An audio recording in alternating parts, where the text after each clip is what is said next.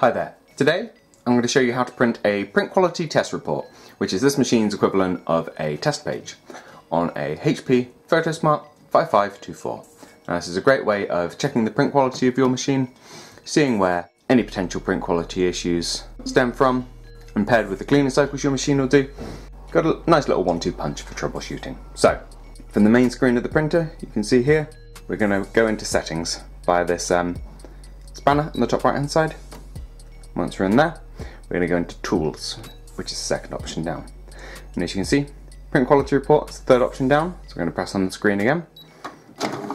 Now this will take your printer just a minute.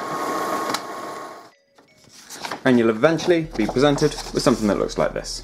You see whole load of text and a breakdown of the four colours used by your printer. Now as you can see, I've got a severe issue with the black here, which I'm going to try and resolve with some cleaning in just a minute. Now as you can notice I do have text and things which look black, but this is a composite black which will have been made from combining these three colours into like a, a dark dingy colour that you could read as black, but not sure if you can see on camera, it's really not.